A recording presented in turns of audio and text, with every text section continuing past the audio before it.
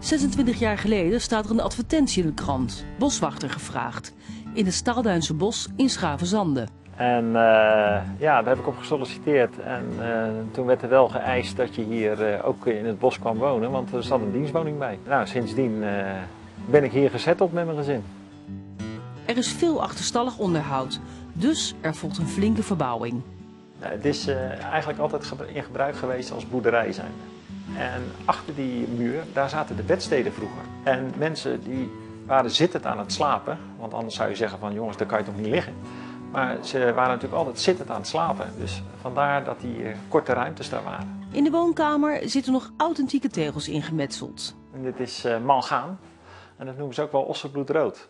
En die afbeeldingen, die, zitten, die tegeltjes zitten er al in uh, vanaf het begin dat het huis gebouwd is. En dat is voor 1800 geweest. Fred Spreen kan zich geen mooiere plek voorstellen dan zijn eigen woning in het Staalduinse bos. Nou, je, je hoort het met de, met de vogelgeluidjes. Uh, het is hier geweldig. Er zijn natuurlijk heel veel mensen die het uh, ja, zeg maar, angstig vinden, s'avonds, donker. Uh, nou, dat is het absoluut niet. Voor het verhuizen staat niet in het woordenboek van Fred. Ik moet er niet aan denken. Ik heb in mijn jeugd in een flat gewoond, maar daar ben ik blij dat ik daar niet meer zit.